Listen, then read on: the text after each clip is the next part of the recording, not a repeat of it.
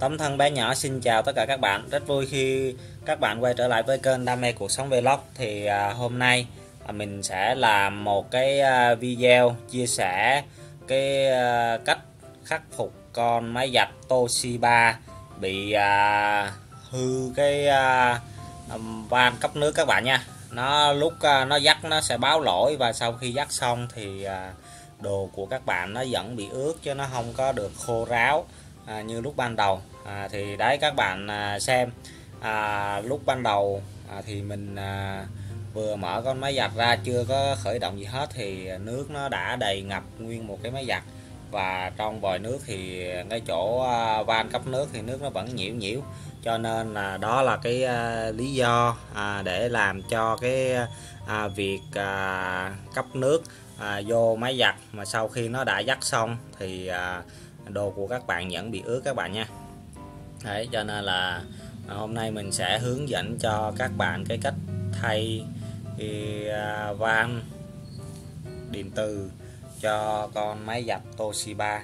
Thì à, thường thì những con máy giặt thì nó cái nó đều sử dụng van điện từ gần gần như tương đương như nhau.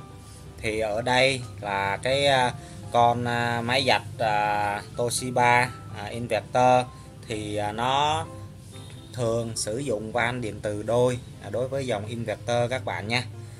Thì ở đây là một cái con à, máy giặt Toshiba inverter 10 con này là 14 kg nha các bạn.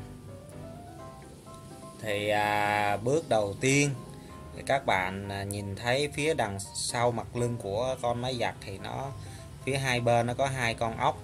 Thì các bạn tháo tháo hai cái con vít đó ra. Dùng tua vít các bạn tháo hai cái con vít đó ra. À, sau đó thì à, à, chúng ta dùng à, dùng cái à, à ngón tay các bạn. Các, à, các bạn bám theo cái cái miếng ở cái mớp ở đằng sau và các bạn giật mạnh lên. Thì trong quá trình sửa chữa thì các bạn cũng đừng có lo ngại là gãy chốt hay gì thì các bạn giật nó đúng cái kỹ thuật thì nó sẽ không bị gãy. Các bạn tháo hai con ốc sau đó các bạn cầm hai phía chỗ hai vị trí con ốc các bạn giật mạnh lên.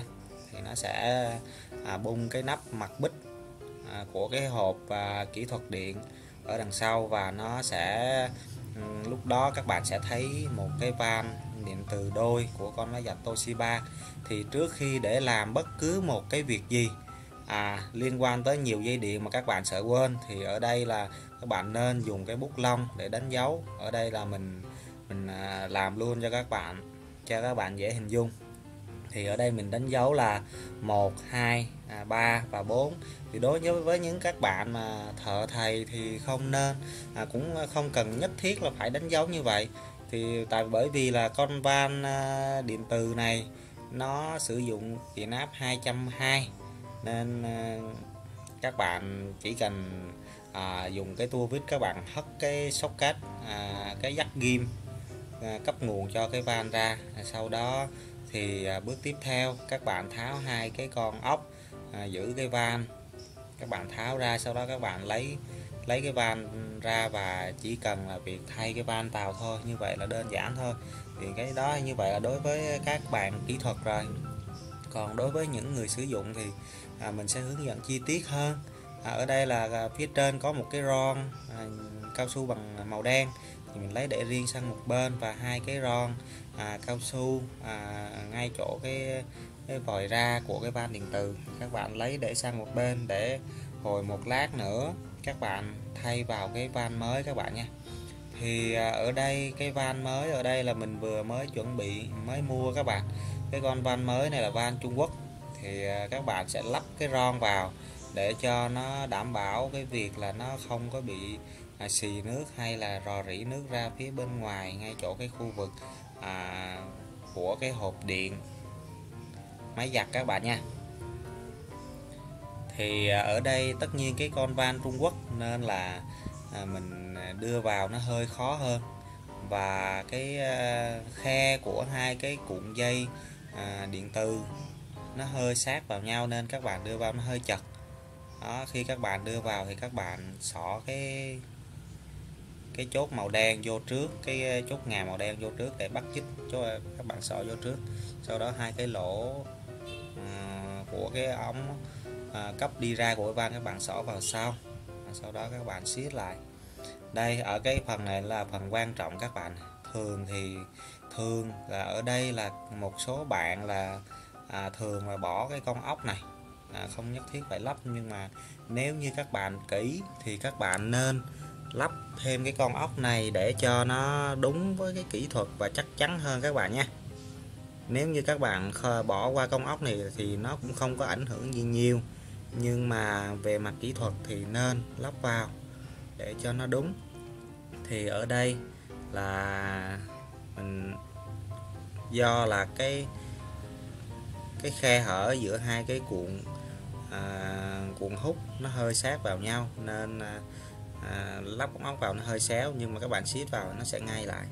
Thì à, lúc ban đầu mình đã đánh dấu cái phần dây rồi thì như vậy thì bây giờ thì các bạn chỉ việc là ghim dây vào thôi. À, 1 2 3 và 4 à, từ trong ra ngoài các bạn nhé.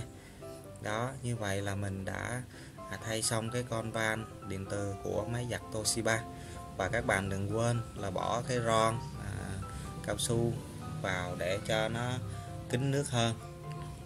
Sau đó các bạn lắp vào thì các bạn đưa cho nó ngay vào cái lỗ của cái nước nguồn nước à, cấp vào. Và sau đó các bạn ấn mạnh xuống hoặc là các bạn dùng tay các bạn vỗ nhẹ thì nó sẽ cái ngàm nó sẽ tự à,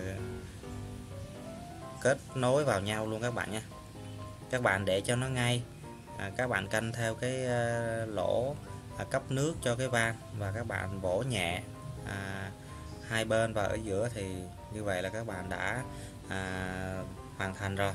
Và bước cuối cùng thì mình sẽ à, vặn hai cái con à, dít lại à, là xong các bạn ha.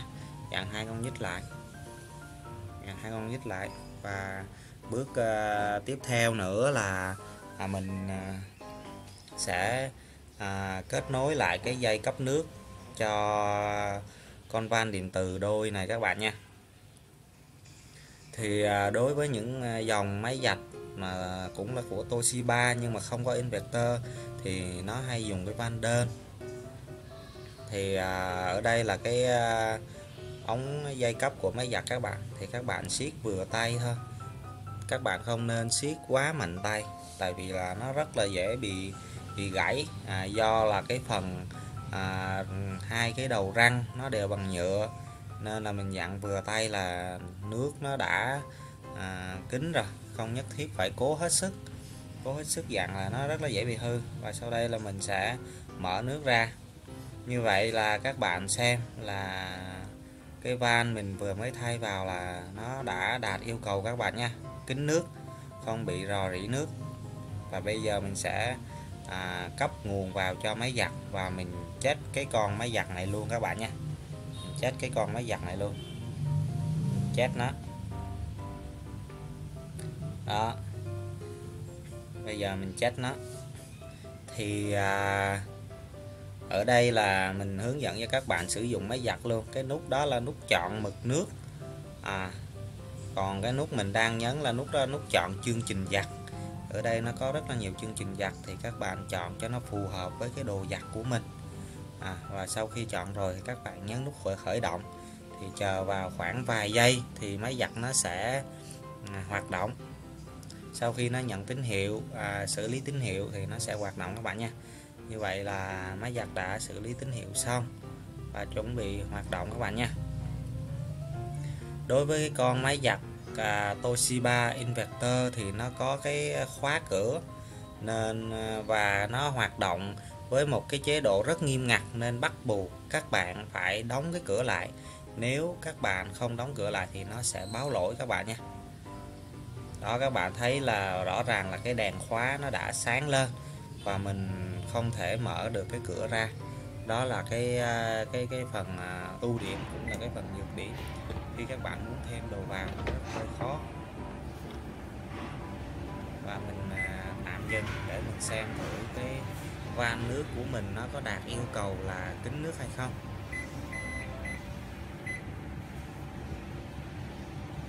Thì ba cái nút giặt xả và vắt thì khi các bạn cũng có thể tùy chọn theo cái chế độ à, vắt không hoặc là giặt không đều vẫn được các bạn nha. Các bạn sẽ nhấn vào cái nút đó. Và nếu như máy giặt à, các bạn mà muốn sử dụng máy giặt của mình bền thì các bạn à, không nên bỏ đồ quá nhiều. Khi các bạn đổ bỏ đồ vào quá nhiều thì nó dễ bị quá tải. Dẫn tới là dễ hư về cái phần cơ các bạn đó. thì ở đây rõ ràng là nãy giờ các bạn thấy là cái van nước mình nó kín. Đảm bảo là động tốt các bạn nhé. Thì bây giờ đối với con máy giặt Toshiba inverter này thì nó hơi khó tách. Đó là mình phải đóng cái cửa lại thì nước nó mới cấp vào và thực hiện bắt đầu một cái chu trình giặt của nó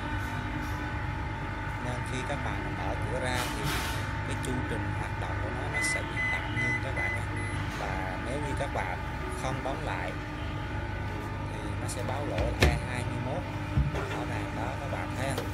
Báo lỗi E21 thì à, mình đóng cửa lại hết và nó bắt đầu thực hiện à, quá trình giặt các bạn nhé thì à, lúc này nước sẽ nó sẽ cấp vào cấp vào thì do cái à, à, cái cái mặt lòng cái ờ, mặt à, cửa trên dùng cái à, màu đen nên đó các bạn ha, nếu nó cấp vào lúc mình dở ra nó sẽ tắt nước ngay.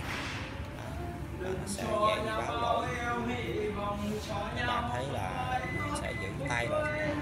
Một bác nó sẽ báo lỗi E21 liền. Bắt buộc là phải đóng sát cửa thì nó mới thực hiện cái chu trình giặt. Nếu như mà không thì đó và cái số 56 đó là chính là cái à, số ờ, uh, giờ à, để mà chặt. Xong một cái quy trình chặt các bạn nhé. Thì uh, video của mình à, đến đây là hết. Nếu các bạn thấy video của mình hay thì cho mình xin một like một uh, đăng ký kênh. À, cảm ơn tất cả các bạn đã quan tâm theo dõi kênh của mình các bạn nhé. À, xin chào tạm biệt các bạn và hẹn gặp lại các bạn trong những video lần sau.